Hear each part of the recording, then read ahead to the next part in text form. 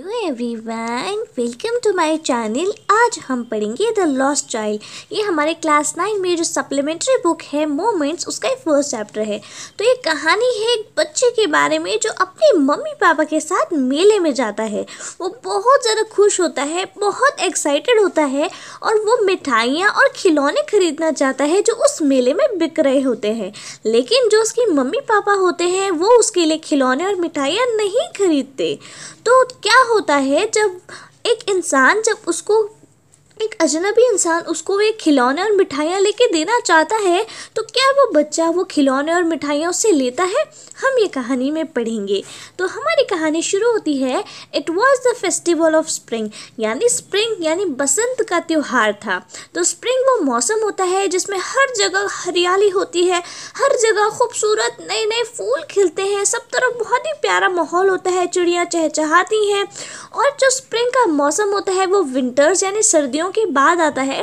तो इस कहानी में बताया गया है कि स्प्रिंग का मौसम था और जो पूरी गलियाँ थी आ, कहते हैं लेन्स और एलीज होता है गलियाँ। तो जो पूरी गलियाँ थी वो लोगों से भरी हुई थी। गेली कहते हैं खुश जो बहुत ज़्यादा खुश होते हैं और क्लैट कहते हैं ढका हुआ। और ह्यूमैनिटी यानी लोग मानवता। तो जो गलियाँ थी गाँव की जो गलियाँ थी, वो पूरे लोगों से भरी हुई थी, जो बहुत ज़्यादा खुश थे और बहुत ही ज़्यादा इंजॉय कर रहे थे। और उसमें विंटरी शेड्स यानी ठंडी ठंडी सर्दियों की हल्की हल्की हवा आ रही थी, क्योंकि अभी भी जो था स्प्रिंग ख़त्म हुआ था तो अभी भी हल्की सी ठंड थी। तो जो कुछ लोग थे, वो पैदल चल रहे थे, कुछ लोग घोड़े पे थे और कुछ लोग वहाँ पे बैठे हुए इंजॉय कर रहे थे। कुछ लोग जो बलो कार्स होते हैं, उसमें जा रहे थे, यानी कुछ लोग बैलगाड़ी में जा रहे थे। एक छोटा सा लिटिल बॉय प्यारा सा, नन्हा सा बच्चा अपने पापा के पैरों के आसपास घूम रहा था। और बहुत ही ज़्यादा खुश था।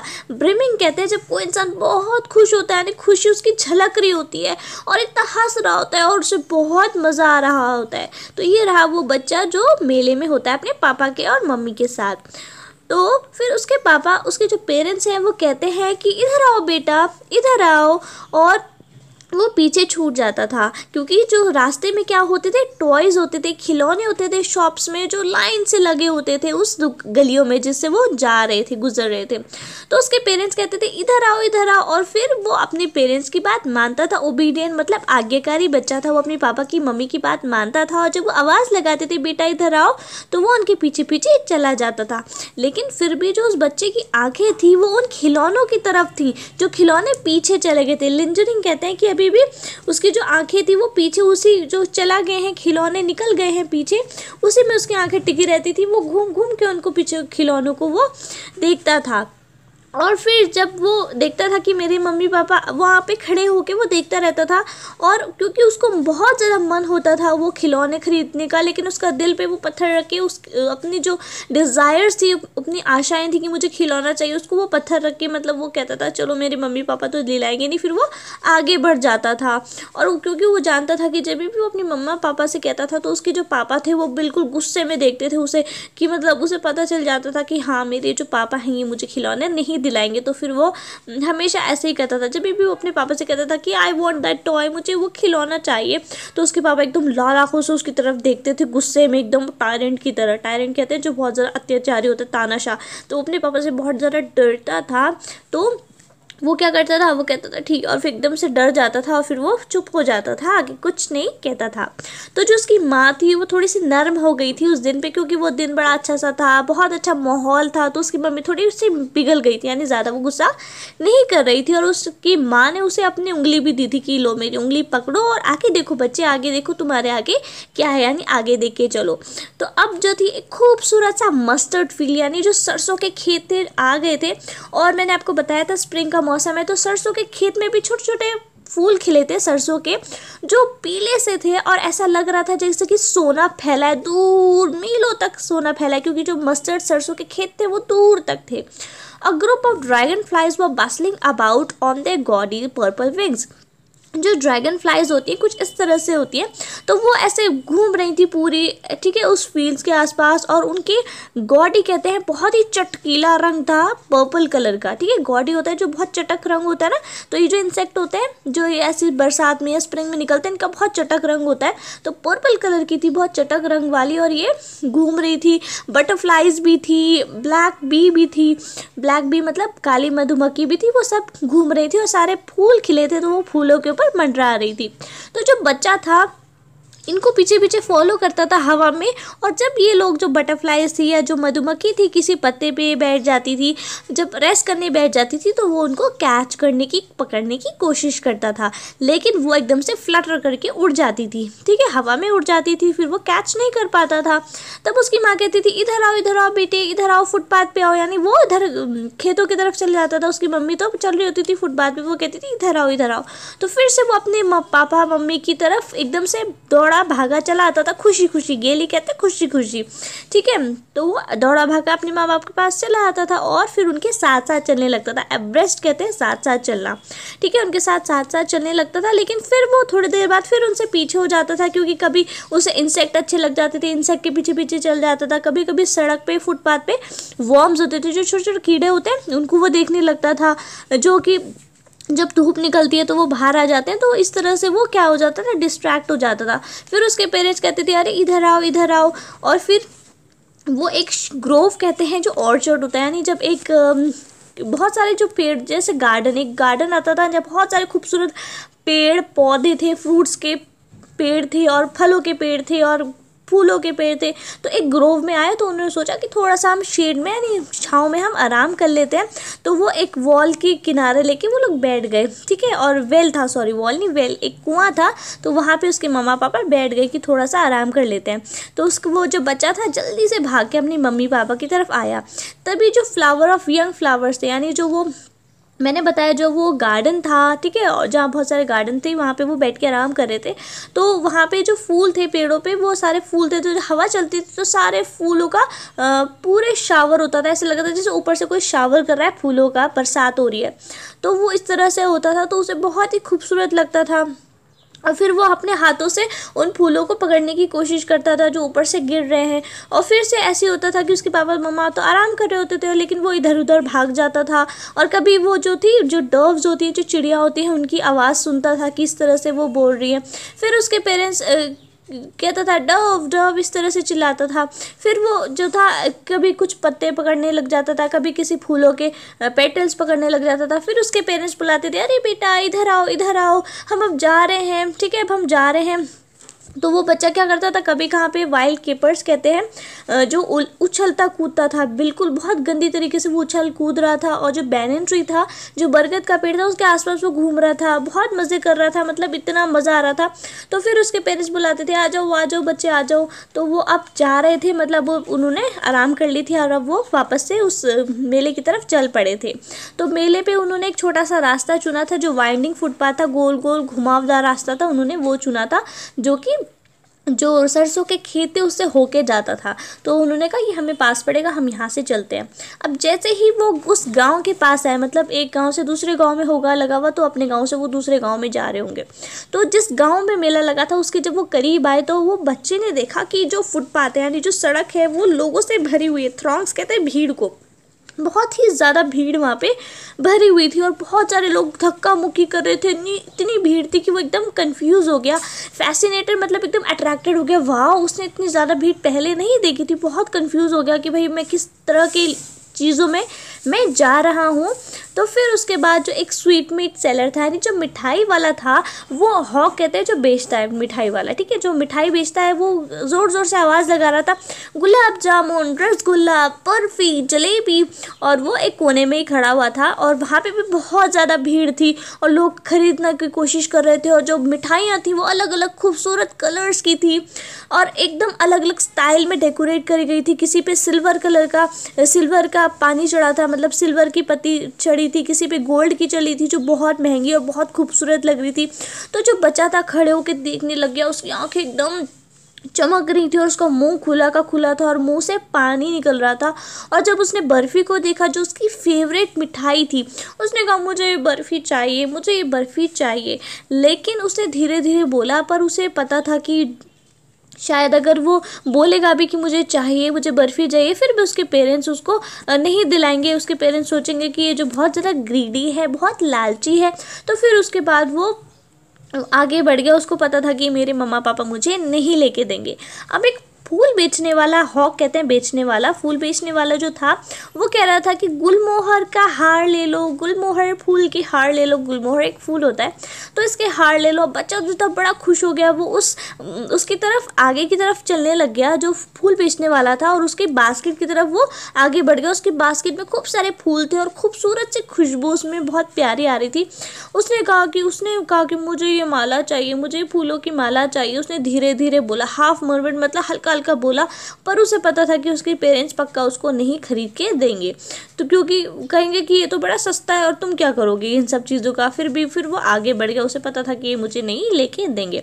अब एक थोड़ा सा आगे बढ़े तो एक इंसान था जो एक पोल, एक डंडा लिए खड़ा था और उसमें ढेर सारे येलो पीले कलर के, लाल कलर के, हरे कलर के पर्पल कलर के बलून्स थे जो एकदम उड़ रहे थे हवा से। तो बच्चा एकदम खुश हो गया। उसने कहा वाह कितने खूबसूरत लग रहे हैं ये कलर सारे कलर्स हैं इसमें और मेरे को तो मेरे को तो सारे चाहिए। काश मुझे ये मिल जाए। और उसे पता था कि उसके पेरेंट्स उसको बलून नहीं दिलाएँगे, क्योंकि उसके पेरेंट्स कहेंगे, तुम तो बलून खेलने की तुम्हारी उम्र नहीं है, तुम तो बड़े हो गए हो भाई, इतने भी छोटे नहीं हो कि तुम बलून से खेलो। फिर उसके बाद वो आगे बढ़ गया। अब एक स्नेक चार्मर था यानी जो सपेरा था, वो बैठा हुआ था और फ्लूट बजा रहा था, वो बांसुरी बजा रहा था और उसके पास में एक स्नेक भी था बास्केट में एक स्नेक था जो यूँ घूम के और फन फैला के बैठा हुआ था। उसका सर एकदम आगे की तरफ़ था बेंड हो रखा था फन जैसे फैलाते ना, इस तरह से वो बैठा था। और वो ना, जब वो बांसुरी बांसुरी बजा रहा था तो वो ऐसे ऐसे घूम रहा था, अपना सर यूँ हिला रहा था और ऐसा लग रहा था कि उसके जो म्यूज़िक है, उसके कानों में जा रही है, जो कान तो इनविजिबल होती क्योंकि सांप के कान नहीं होते, बस छेद होते हैं। तो ऐसा लग रहा था कि वो म्यूज़िक उसके इनविजिबल कानों में जा रहा है और वो खूब इंजॉय कर रहा है। और जो बच्चा था, वो नीचे की तरफ़ झुका, उस स्नेक चार्मर की तरफ़ ना, उस सपेरे की तरफ़, लेकिन उसे पता था कि उसके मम्मा पापा ने मना किया इस तरह की आवाज़ें सुनने के लिए। और जो स्नेक चार्मर जो सपेरा, वो इस तरह की आवाज़ें निकाल रहा था उस बाँसुरी से तो उसने कहा, नहीं नहीं, मुझे इसके करीब नहीं जाना चाहिए। फिर वो आगे की तरफ़ बढ़ गया। फिर उसने देखा कि एक राउंड अबाउट है। राउंड अबाउट मतलब होता है झूला, जो गोल सा झूला होता है ना, ऊँचा सा, इस तरह से एक झूला होता है जिसमें आदमी, औरतें, बच्चे खूब ज़ोर ज़ोर से वो लोग क्या कर रहे थे, झूल रहे थे और मतलब इतना चीखने की आवाज़ आ रही थी, चिल्लाने की आवाज़ आ रही थी, हँसी की भी आवाज़ आ रही थी। तो उस बच्चे ने कहा, मुझे तो इसी में ही जाना है, मेरे को तो प्लीज़ मुझे इस झूले में, मुझे बैठने दो, मुझे इस झूले में बैठने दो, मम्मा, पापा। जब, लेकिन कोई भी रिप्लाई नहीं आया, कोई भी रिप्लाई नहीं आया उसके मम्मी पापा का।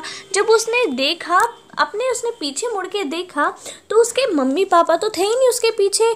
और जब उसने अपने अगल बगल में देखा तो अगल बगल में भी उसके मम्मा पापा नहीं थे। उसने पीछे देखा, उसके पीछे उसके मम्मी पापा का कोई भी अता पता नहीं था। और एकदम से वो, एकदम से ज़ोर से वो रोने लग गया। उसका गला एकदम सूख रखा था और इसकी बॉडी ने एकदम से झटका लिया, एकदम से वो जैसे कांपने लग गया। जहाँ पे वो खड़ा था, वहीं पे वो रोने लग गया ज़ोर ज़ोर से डर के मारे। अब वो उसकी आँखों से एकदम आँसू निकलने लग गए। मम्मा, पापा मम्मा, पापा, और उसका गाल जो थे एकदम गर्म हो गए, ठीक है? चेहरा एकदम फ्लश हो गया कन्वर्स विद फिर यानी जो चेहरा था लाल, गर्म हो गया, और उसका चेहरा एकदम डर की वजह से एकदम लाल हो गया। और एकदम से पैनिक स्ट्रिकन यानी इतना घबरा गया वो, इतना डर गया कि वो एक तरफ़ भागता था, फिर दूसरी तरफ़ भागता था, यहाँ वहाँ, हर डायरेक्शन में वो भागा। उसे पता नहीं था कि उसे कहाँ पे जाना है, और मम्मा, पापा मम्मा, पापा वो ज़ोर ज़ोर से चिल्लाने लग गया। उसकी वेल मतलब होता है, चिल्लाने लग गया, रोने लग गया। उसकी जो पीली टर्बन एक पीली पगड़ी उसने प्यारी सी पहनी हुई थी, वो भी बिल्कुल मतलब खुल गई और उसके जो कपड़े थे एकदम मडी हो गए क्योंकि वो यहाँ, वहाँ यहाँ, वहाँ भाग रहा था। अब उसके पास मतलब अब वो हर जगह डायरेक्शन में भाग चुका था। अब वो इतना ज़्यादा गुस्से में था कि वो भाग भाग के थक गया था और एक जगह पे वो आराम से मतलब एक जगह से वो एक जगह खड़ा हो गया और वो ज़ोर ज़ोर से रोने लग गया। अब उसकी जो चीखें थी, जो चीखें मार रहा था, वो अब चीखें उसके आंसुओं में बदल गई और आँखों से उसके आँसू ही बहे जा रहे थे, बहे जा रहे थे। थोड़े से डिस्टेंस में उसने देखा कि जो हरी हरी घास थी, जो उसे दिख रहा था उसकी फिल्मी आइज़ से। फिल्मी आइज़ मतलब उसने इतना रोया था कि उसकी आँखों में पूरे आँसू भरे हुए थे और उसको धुंधला धुंधला से दिख रहा था कि जो आदमी औरतें खूब बात कर रहे हैं हरी हरी घास में हर तरफ़ तो वो जब देख रहा था, उसके जो मम्मा पापा ने ना, उसने येलो कपड़े पहने थे, उसके पापा ने तो वो देखने की कोशिश कर रहा था कि किसी आदमी ने पीले कपड़े पहने तो वो ना पीले कपड़े वालों को देखने की, देखने लग गया, ढूँढने लग गया कि शायद उसे अपने पापा मिल जाए। और उसकी माँ भी मिल जाए, लेकिन जहाँ तक उसने देखा, वहाँ लोग खूब बातें कर रहे थे, हंस रहे थे और खूब सारे मज़े मार रहे थे तो उसे तो अपनी मम्मा पापा दिखे ही नहीं कहीं। अब फिर वो इधर भागा, उधर भागा। अब वो था एक श्राइन, यानी एक मंदिर में वो चला गया, जहाँ पे लोग बहुत ज़्यादा भीड़ लगा के जा रहे थे। उसने सोचा, शायद मेरी मम्मा पापा मुझे यहाँ मिल जाएँगे। और हर एक इंच जो थी, वो आगे जाता था तो वो लोगों से बिल्कुल कंजेस्टेड थी, लोगों से भरी पड़ी थी।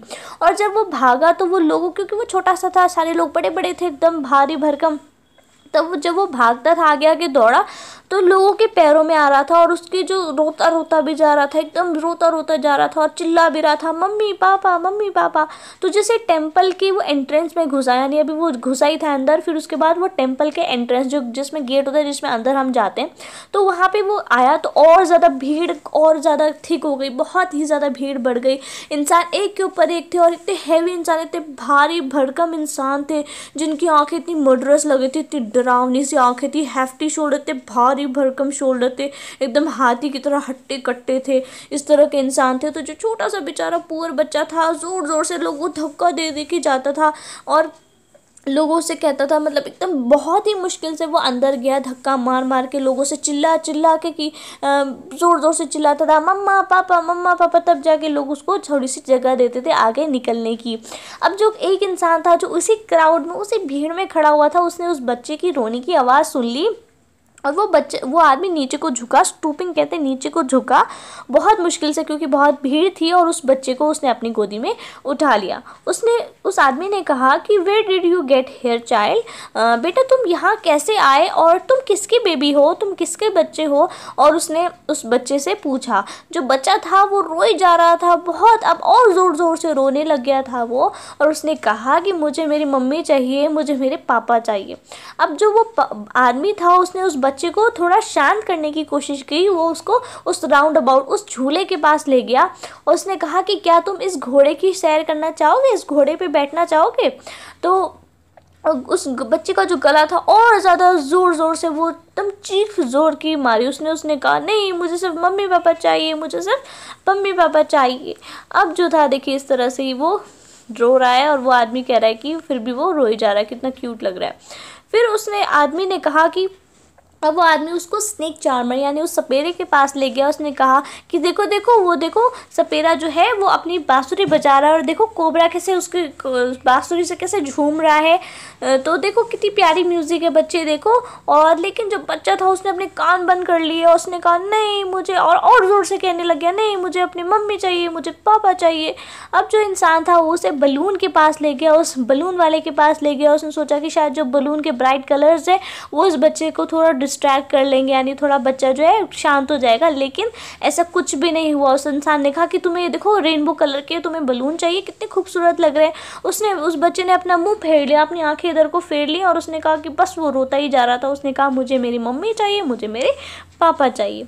अब जो इंसान था वो बहुत ही ज़्यादा कोशिशें कर रहा था उस बच्चे को खुश करने के लिए और अब वो था उस गेट पे आया और जहाँ पे वो फ्लावर सेलर था, वो फूलों वाला था जो फूल बेच रहा था, उसने कहा, देखो बेटा, कितने खूबसूरत फूल है, कितनी प्यारी प्यारी खुशबू आ रही है, क्या तुम्हें एक हार चाहिए अपने लिए? तुम्हारे गले में हम वो हार डाल देंगे। तो फिर उस बच्चे ने कहा, क्या? उसने, बच्चे ने अपनी नाक पीछे कर ली, उसने कहा, नहीं, मुझे नहीं चाहिए ये। और फिर से वो रोने लगे, उसने कहा, मुझे मेरी मम्मी चाहिए, मुझे मेरे पापा चाहिए। और फिर जो थे, अब इसके बाद वो क्या आया? अब उस जगह पे आया, उस दुकान पे आया जहाँ पे वो था स्वीट्स का कॉर्नर था, ठीक है? मिठाई की दुकान थी। तो फिर उस इंसान ने कहा कि कौन सी मिठाई चाहिए प्यारे बच्चे तुम्हें? तो बच्चे ने फिर अपना मुँह घुमा लिया। उसने कहा, मुझे कोई भी मिठाई नहीं चाहिए, मुझे सिर्फ़ अपने मामा चाहिए, मुझे सिर्फ़ अपने पापा चाहिए। और ये कहानी लिखी थी मुल्क राज आनंद ने। तो यहाँ पर हमारी कहानी ख़त्म हुई। तो इस कहानी में हमें ये सीख मिलती है कि बच्चे को क्या चाहिए थे, सिर्फ़ उसके मम्मी पापा चाहिए थे। स्टार्टिंग में जिस चीज़ों के लिए वो रो रहा था कि मुझे मिठाई चाहिए, मुझे खिलौने चाहिए, मुझे फूल चाहिए, फूलों का हार चाहिए, मुझे बलून चाहिए। आखिर में जब उसको वो सब कुछ मिलता है तो वो क्या लेता है? वो सब चीज़ें नहीं लेता, क्योंकि उसके लिए क्या ज़रूरी होता है? उसके मॉम डैड उसके लिए उसके मम्मी पापा ज़रूरी होते हैं, और उनसे, उनके लिए वो, उसके लिए सिर्फ़ उसके मॉम डैड ही इंपॉर्टेंट होते हैं, बाकी चीज़ें इंपॉर्टेंट नहीं होती। तो आई होप आपको ये स्टोरी समझ में आई होप वीडियो अच्छी लगी हो तो वीडियो को लाइक करें शेयर करें एंड मेरे चैनल को सब्सक्राइब करें, और सेकेंड चैप्टर इसका बहुत जल्द अपलोड हो रहा है सेकेंड चैप्टर थर्ड चैप्टर तो मेरे चैनल को ज़रूर से सब्सक्राइब करें। Thanks for watching